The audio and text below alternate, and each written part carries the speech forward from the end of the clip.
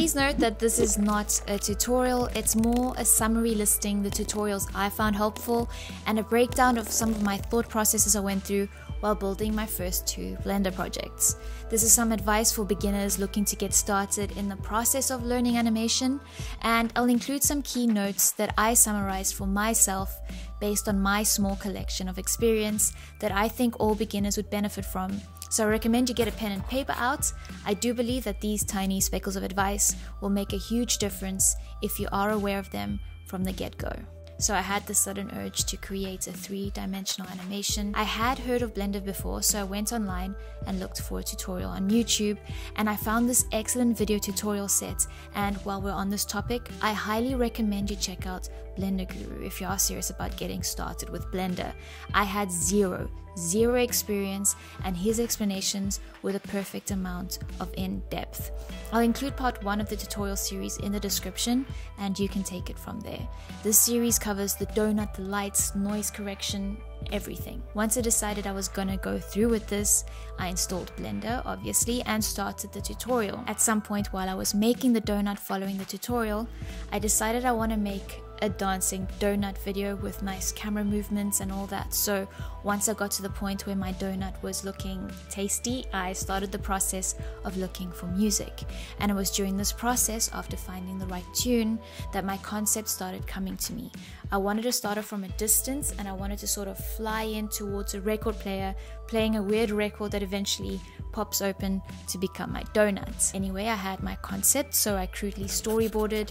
It really was just that, it was mostly in my head. Before I created the record player, as I was still in complete donut mode, I started the dancing donut part. Being a Premiere Pro and After Effects user, I was pretty comfortable with keyframes, but I did need a tutorial to help me understand the timeline and the dope sheets and all that. The tutorial that helped me is linked in the description. Now, as a side note, and the first thing you might want to write down, I found that sometimes my sprinkles keyframe animation would appear to stick, so after the sprinkles popped or expanded, instead of going back to normal shape, they stuck to that shape. But selecting the icing component and clicking on this and around some of its subcomponents, it helped me to just correct it. Importing music wasn't as intuitive as one might guess, and I ended up looking up how to import my music into the project, which made the keyframe animations for the dancing and the camera movements much easier. Now that video is linked down below as well. Side note number two, for editing keyframe animations, my go-to editor space was the Timeline editor.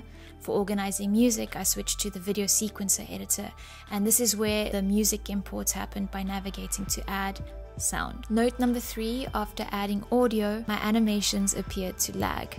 At first I thought my system was struggling to render the preview in real time, which I thought was odd as I have a powerful editing system, but it turned out there was a mismatch between my audio and video, so while in the timeline editor, I navigated to playback and explored the sync setting and found that AV sync fixed my slow playback issue and my animation then played in real time with the music. Right, here's the record player and its components. To make this, I transferred the skills learned from the donut tutorial and applied them to new independent shapes which are grouped or parented. All those types of skills are covered in Blender Guru's tutorials. I imported my logo PNG and messed around with its 3D appearance and gave it metal material. This is all just playing around to figure out what looked good. The main thing was not to be afraid to make mistakes. And this brings us to side note number four. Save new project versions each time you complete an overall task for peace of mind. And this will encourage you to not be afraid of making mistakes as you explore how far you can push your animations. In this way, you can be sure you can go back to previous stages if you mess up.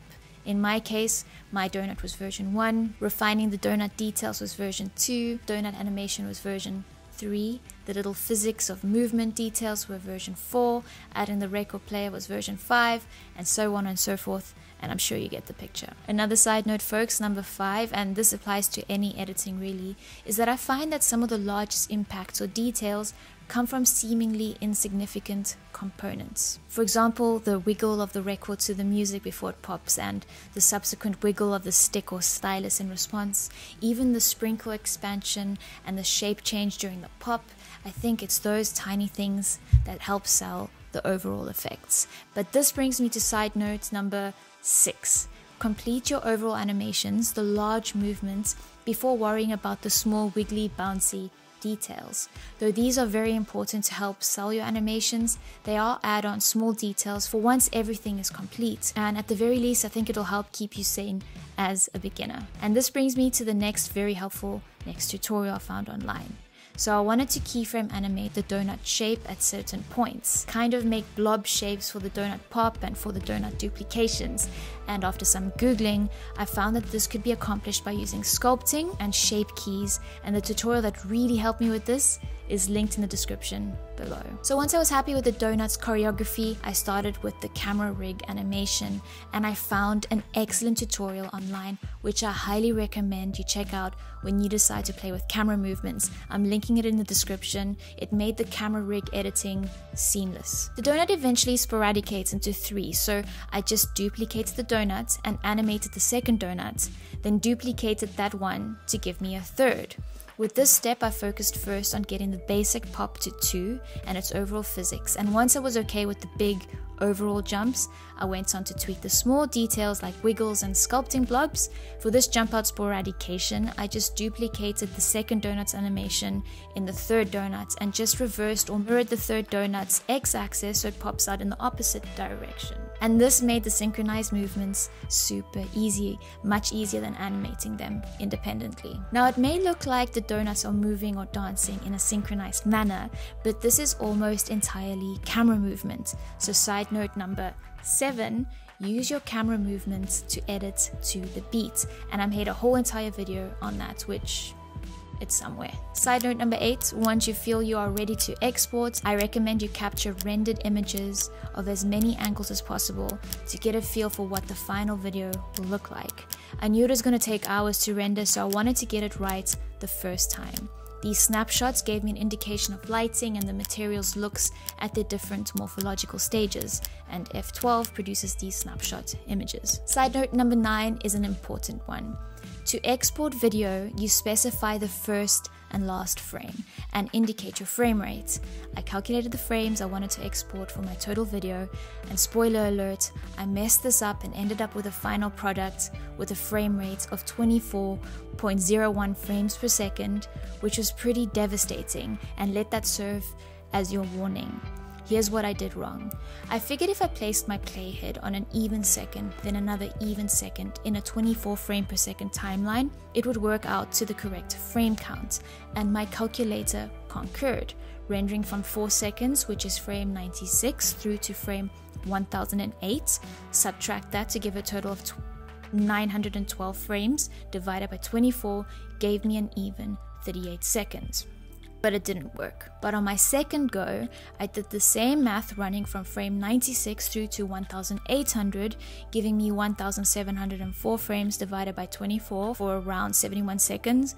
But I then set my first frame one back. My start was actually frame 95, not 96. Though this doesn't work on the calculator, it worked. My thoughts are that if you look at any timeline that runs from zero, you start at zero and not at the first unit, and that's how I came to that and it worked. Side note number 10 export a low quality version of your project first and make sure that if you're going to do some final editing in Premiere Pro or After Effects that you set your video export to MP4. Now I overlooked this the first time around and produced an MKV file which I later found needed to be converted to MP4 because Adobe don't support these file formats. Anyway, I converted it to MP4 with VLC, and it was after this conversion that the 24.01 frame per second was a disaster. Please make sure you learn from this mistake of mine. It's just not worth it's just not worth it. I wasn't willing to render a new version overnight, so I ended up screen recording my MKV at the expense of some crispy quality. But done in this case was better than perfect. It was time to move on to the next project, and I needed to keep this fun for myself as it was just a learning experience.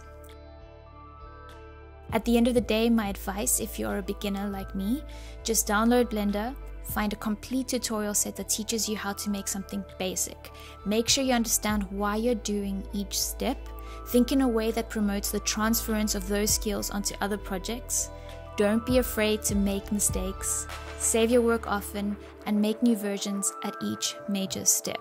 Remember to enjoy yourself and keep pushing yourself to learn. If you plan to do this more than once, I highly recommend you don't leave a long gap between your projects, as I left myself a three month gap between my first donuts and the radioactive extension, and it took me a good few hours to get back into it. And that's it for today, folks. If you enjoyed this video, if you found it helpful, useful, entertaining, if you feel you may have learned something, feel free to give it the thumbs up, share, subscribe, all that good stuff. As always, thank you so much for watching, and I'll catch you in the next video.